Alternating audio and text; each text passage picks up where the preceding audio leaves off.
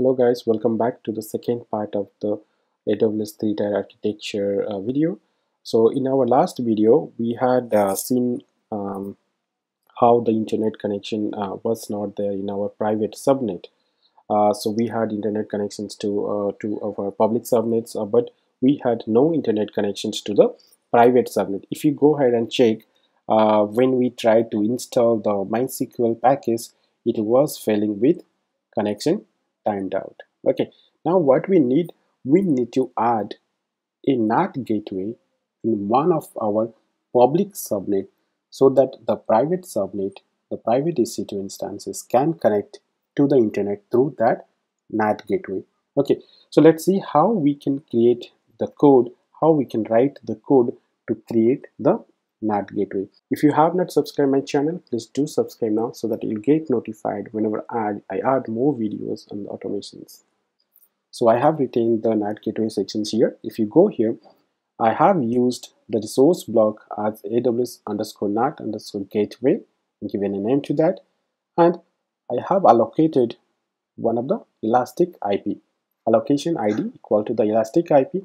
So you need an elastic IP to be allocated to the NAT gateway to work accordingly. Okay, so for elastic IP creations, you can see here it is very simple two line code. You have to only use the resource block of AWS underscore EIP and there you have to use VPC equal to true. So what will happen here once you use it, it will create an elastic IP for you and the same elastic IP you can see here have been allocated. Aws underscore eip dot my eip dot id that is the my eip is the name of the resource block of aws eip underscore eip okay so now i got the allocation id eip id now we need the subnet id where we need to put the nat gateway.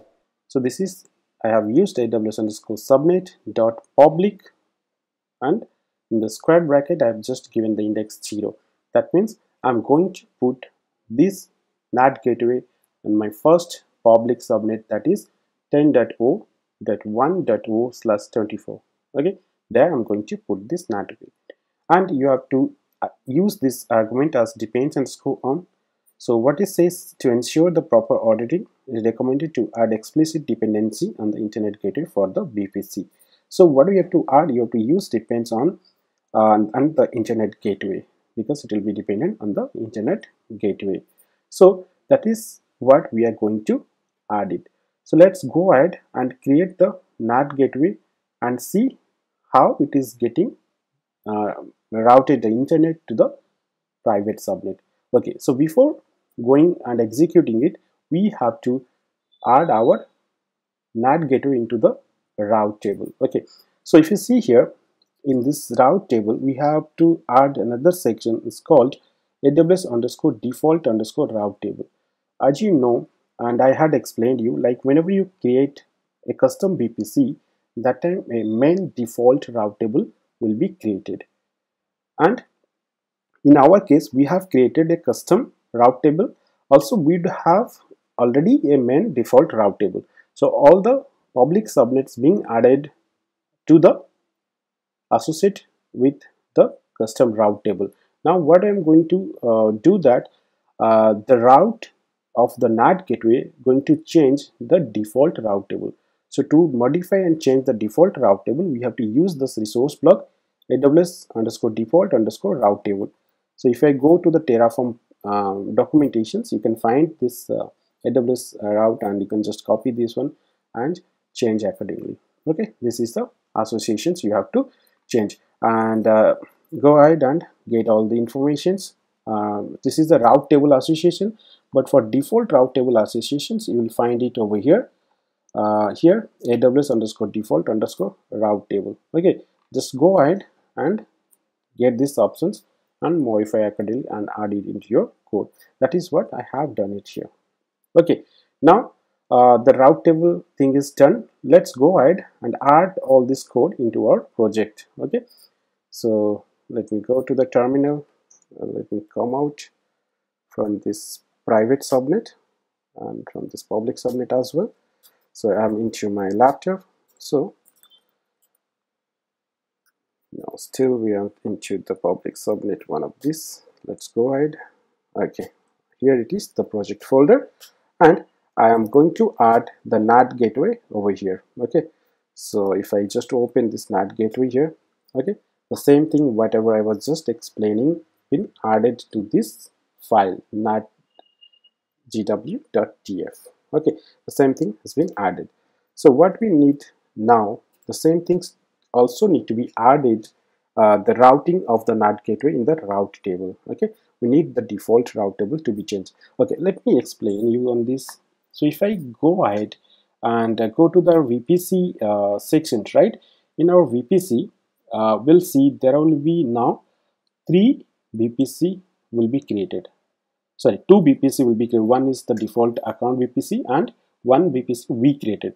But if we go ahead and check the route table we have three route tables. How? Because one route table was created as part of the default VPC one main table created as part of our custom VPC and one custom route table we had created. You can see here three VPCs are there and you can see here the main sections the tab here two VPC the main default VPC and you can see here this is the A to B uh, is uh, the custom VPC which we had created. Okay that means this is this will be our main default VPC as part of our custom one now this we need to modify this route table. Okay if you see here go down on the route sections we do not have anything routed. No gateway is added. So we are going to add that on the same thing is being written in this um, route table to add this NAT gateway. The CIDR block is to make to public. Okay so these sections we are now going to add in our route table. Okay route.tf file.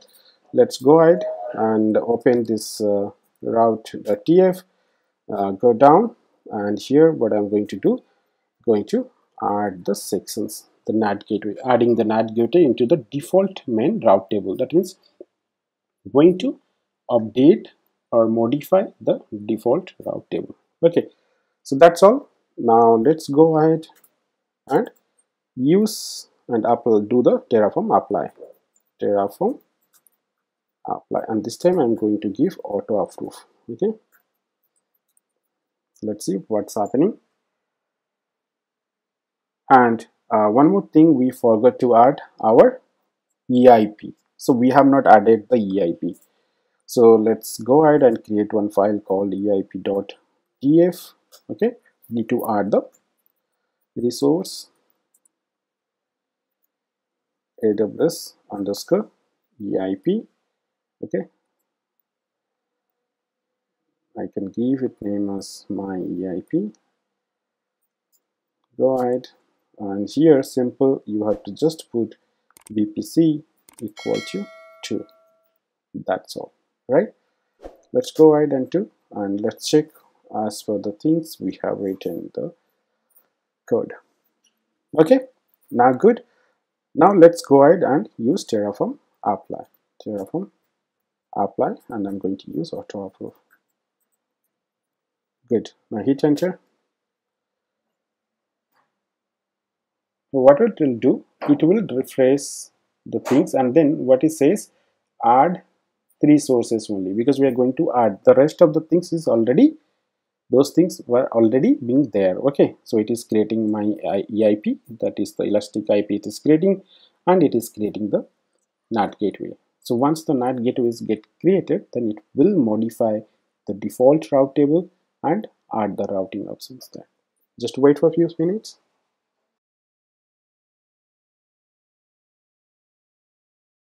So here it is. We can see that uh, three resources have been added.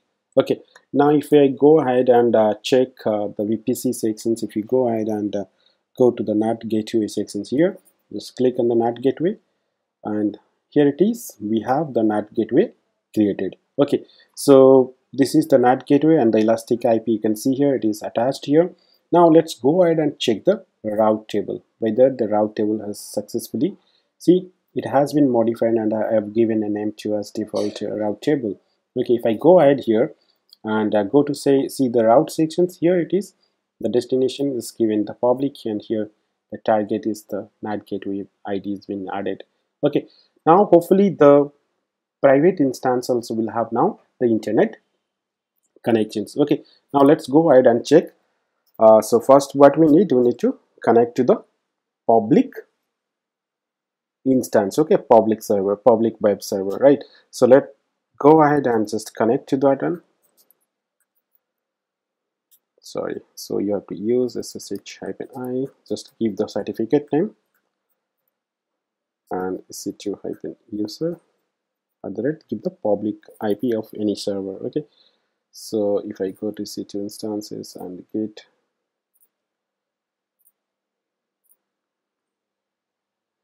okay so let me grab one public ip hit enter. So i'm connected to the public subnet now public ec2 instances and from here we'll connect to the private subnet okay? So private ec2 instance hyphen i and give the certificate name and get the private ip address of the db server. This is the private ip address. Okay copy it paste it here. Here it is. We can able to connect right? Now let's see whether we have the internet access or not. So I'll just use sudo yum install. Let's uh, install MySQL here. Okay MySQL hyphen yes. Hit enter. Here it is. We have now internet access to our private server. Okay so private instance we have now the internet access, activity and internet access to it. So we can install we can upgrade whatever you want. So now we cannot we cannot directly connect to the private instance or to the database server. Through public instance or to the web server only we can able to connect our database server now we can clearly understood how we can set off the NAT gateway to access our private instance hope you understood clearly how we can do that if you have any doubt or any concerns, please do comment me in the comment section below. If you have not subscribed my channel, please do subscribe now so that you'll get notified whenever I add, more videos on automations. Thank you.